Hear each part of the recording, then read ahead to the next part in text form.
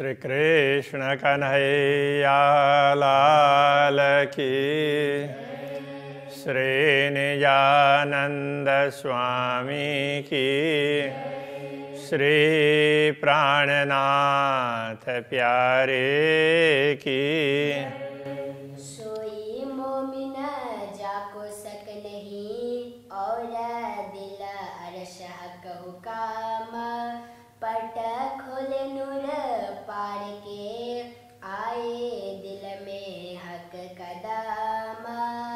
आए दिल में हक कदम।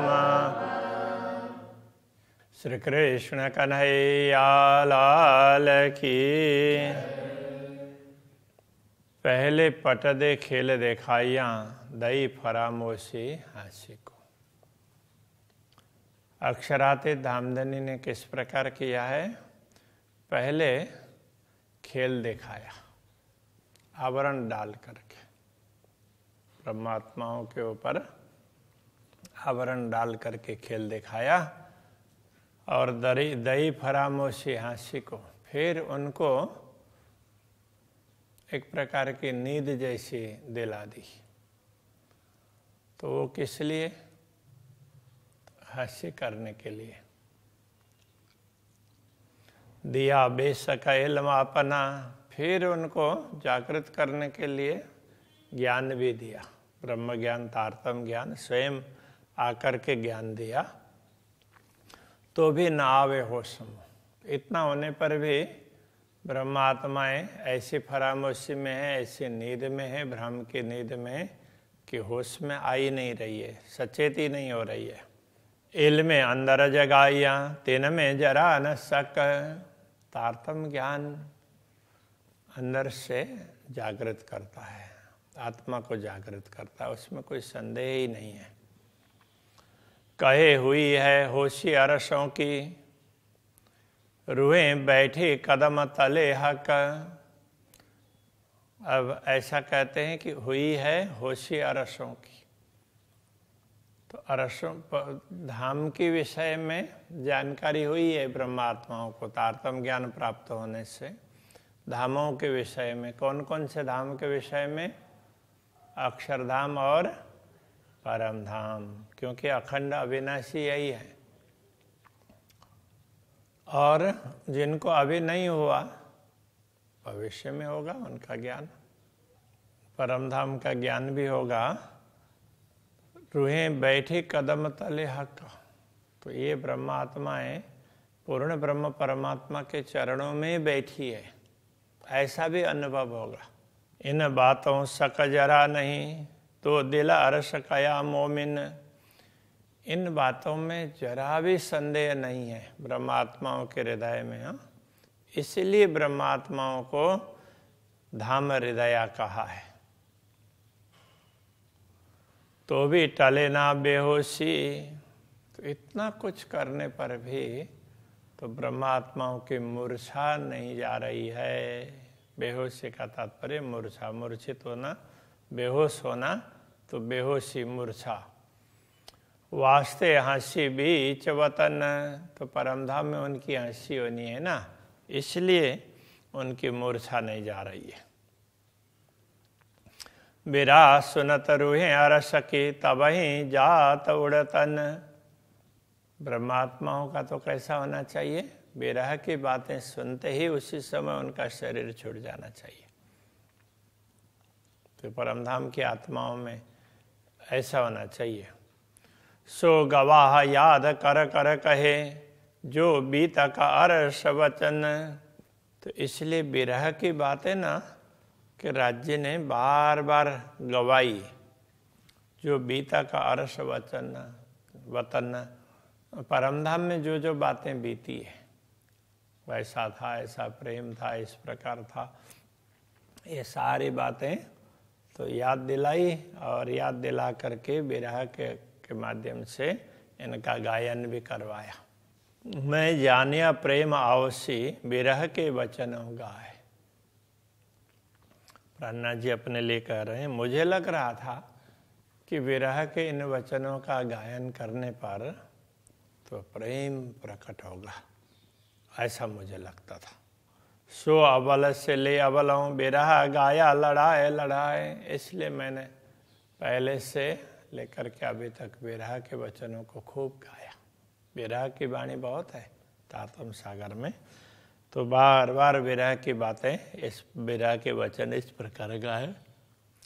सो गाए बिरहा न आइया।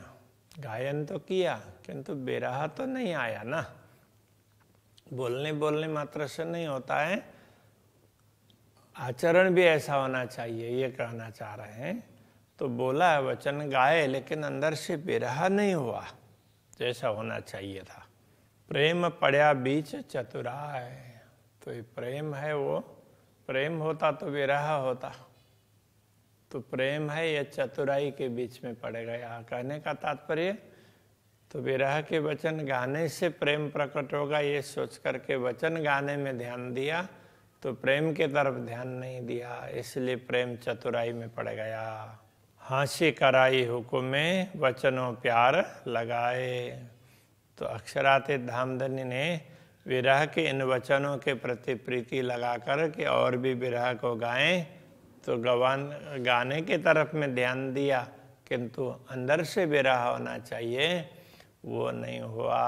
इसलिए इस प्रकार से भी धामधनी ने धामधनी ने अपना आदेश दे करके हम हम, हमारी हँसी कराई। सो गाय गाय हुआ दिल सख्त, इस प्रकार गा गा करके दिल है बड़ा सख्त हो गया कठोर हो गया। मूल इश्क गया भुलाए, मूल प्रेम उसको भुला दिया। विरह के वचनों का गायन करते करते मूल प्रेम को भुला दिया। मन चित बुध अहंकार, गुज अरस कया बनाए।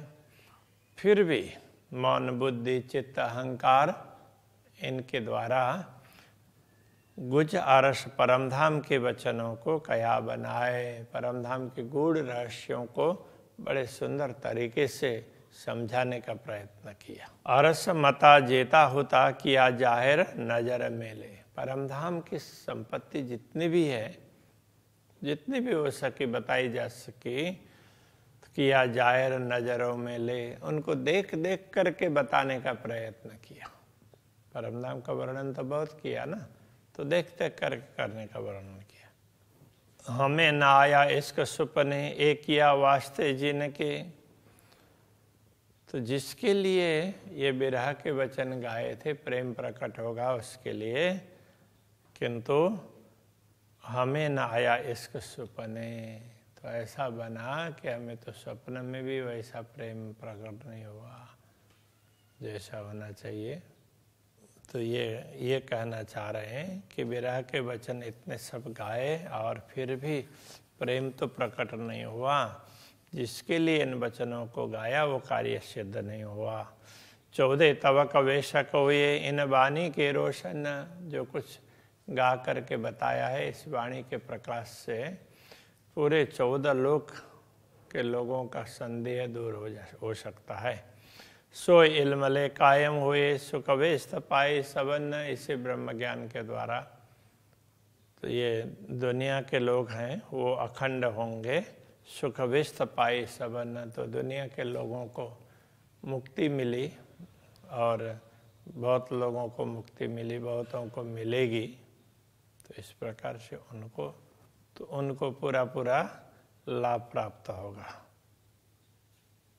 तो ये दुनिया के लोगों को तो दुनिया के लोगों ने तो अच्छा विश्वास पे कर लिया और वो अखंड भी हो गए, हो जाएँगे, बाकी होंगे तो। किंतु हमें तो जो, जिस प्रकार का प्रेम प्रकट होना चाहिए, वो तो नहीं हो रहा है। हक खिलवत गाय से जाने हम को देशी जगाए। मूल मिलावा का वर्णन और धामधनी के एकांत विहार एकांत लीला का वर्णन कर करने से कि हमें लगा कि हमारे हम धामधनी हमें जागृत कर देंगे। जाने हमको देसी जगह है। हमें ऐसा लगा कि धाम दुनिया में जागृत कर देंगे। इसका पूरा आवश्य प्रेम हमारे अंदर पूरा पूरा प्रकट होगा। ऐसा हम, हमने माना पर के हाँसी करे उल्टाए। किंतु उल्टा ये हुआ कि धामधनी ने तो हमारी हँसी कर दी, हमारा मज़ाक बना दिया। जो देते हमको इश्क तो क्यों सके हम गाए? यदि धामधनी हमें ज्ञान ना दे करके प्रेम देते तो हम गाने के चक्कर में क्यों पड़ते? दिल अरस पहुँचे रूह इसके, अरस दिल रूह इसके पहुँचे। ऐसा समझना पड़ेगा। आत, वो आत्माएँ जिनका हृदय परमधाम बना है ऐसी ब्रह्म आत्माएँ तो प्रेम से ही परमधाम पहुँचती है। तो ये तक क्यों रहो रूहों जाए? तो ऐसी आत्माओं से इस दुनिया में रहा ही नहीं जा सकता वो तो सीधा सीधा परमधाम पहुँच ही जाएँगे। सब अंग हमारे हक हाथ में इश्क मांगे, रोए रोए। सारे अंग हमारे धामधनी के हाथों में है। इसलिए हम इश्क मांगे, रोए रोए। उनसे हम रो रो करके प्रेम मांग रहे हैं। आप हमें प्रेम दीजिए, इश्क दीजिए, मोए अपनो। मैं तासु करूँ मिलाप। सब अंग हमारे बाँध के, हक आप करे, हाँसी सोए। तो धामधनी क्या करते हैं? हमारे सारे अंगों को बाँध करके हमारी हँसी करवाते हैं। ऐसा उनको लगा। बांधना का तात्पर्य बांधना ने अधीन करके तो राज्य ने अपने अधीन किया है और इस प्रकार वो हमारी हँसी करवा रहे हैं। हम हुकुम के हाथ में, हक के हाथ हुकुम, हम तो स्वयं हुकुम के हाथ में है। और धामधनी के हाथ में हुक्म है ये तो हमारा क्या चले, ज्यो जानो त्यों करे खसम। तो यहाँ हमारा क्या चलेगा? जैसा राज्य चाहेंगे वैसा ही होगा ना? जैसा परमात्मा चाहते हैं वैसा ही होता है। बाकी तो दूसरे लोग हैं तो जो सेवा उसमें, अर्जी में बोलते हैं ना तो यहाँ उस तरह से राज्य ऐसा करते हैं, ऐसा करके वहाँ प्रार्थना क्या भाव में कहा है। हम तो हाथ हुकुम के, हक के हाथ हुकुम केलवत ग्रंथ में इस प्रकार की चौप है। और यहाँ इस प्रकार समझाया। वो थोड़ा बहुत उसको शब्द आगे पीछे हैं। तो यहाँ हमारा क्या चलेगा? तो राज्य जैसा चाहते हैं वैसे ही तो करते हैं। तो ये है। तो वहाँ है प्रार्थना के भाव में, आपको जैसा ठीक लगे, वैसा कर लीजिए।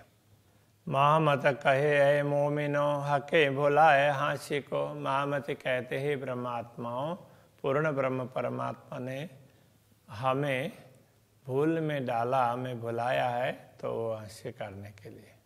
हम दौड़े, जाने वाले इसक हमें तो लगा कि हम प्रेम लेकर के दौड़ेंगे। तो हमारे अंदर प्रेम आएगा, हम उसी के अनुसरण करेंगे। हमको डारे बका इल्मो तो उसके स्थान पर हमें तो परमधाम के अखंड अखंड ज्ञान में डाल दिया, उसमें लगा दिया कि तुम इस तरह से सब ज्ञान की बातें बताओ। तो क्या कहना चाह रहे हैं? पूर्ण ब्रह्म परमात्मा ने ही हमें भुला दिया। क्योंकि वो हँसी करना चाहते हैं।